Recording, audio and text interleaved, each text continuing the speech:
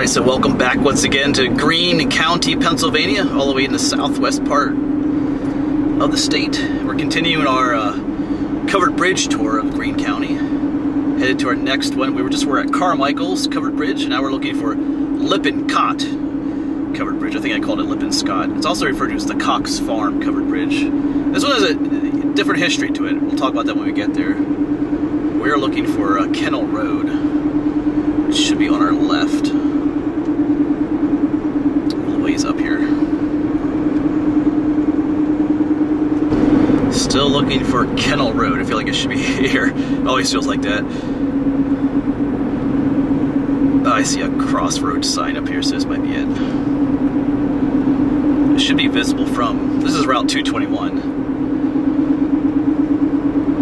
I think we're near the town of Lippincott, it's called. Oh yes, is that, no that's not it. Is that it down there? Oh yeah, I see it. I see it way down there past that building. Alright, so I'll just leave you on because we'll probably drive across it first. And then find a place to park. Yep, here it is. The Lippincott Covered Bridge, or Cox Farm. Almost feels like someone's private driveway. Alright, there you go. Alright, I gotta find a place to turn around. Alright, so there we go. We got the bridge behind us. On the name, they call it the Cox Farm Covered Bridge. On the bridge, got some like someone's phone's ringing. But we'll, so we'll get and call, call it that even here in the video. Not sure what that noise is. Anyway, we'll just have to deal with it. Yeah, erected in 1940. My notes said 1943. Rebuilt in 2013. Yeah, 1940 or 1943, that seems awful late to rebuild a covered bridge. But there's a reason why. If those dates should be familiar, those were the war years, World War II. So this bridge was built during World War II when there was a shortage of metal. Most of the metal was being used for the war effort. So they built a bridge out of wood, just like in the olden times. So that's the deal with it. I think it's about 31 feet long, so it's it might be the shortest one we do, I think. I think, maybe, huh? At least what we've done today. We have one more covered bridge yet. But we have a slightly different design here. We don't have a queen post for this one. We just have a simple king post. But this one's so short, it doesn't really need one. It has a lot of these uprights. A little bit different. So that's nice to see something. I like the queen post, but it's something nice. It's good to see something other than the queen post too.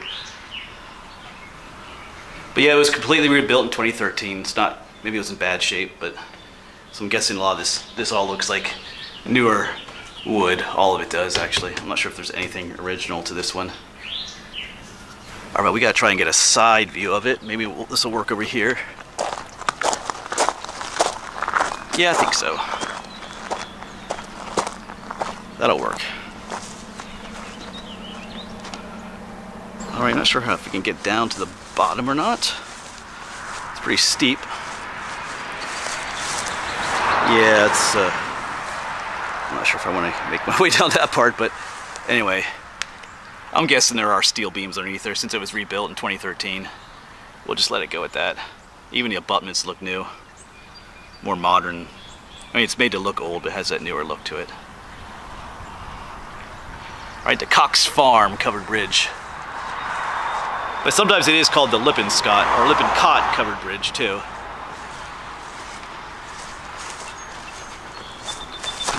Make our way across again.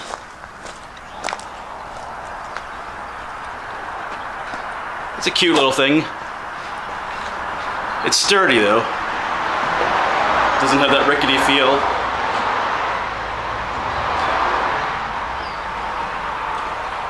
Maybe we'll try again to view it from view of it from over here too.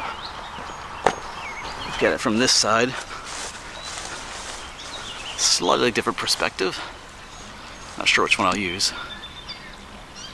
Yeah, so it's a nice little short cover bridge, but short cover bridges make for short videos. Just might be the shortest one I've ever done.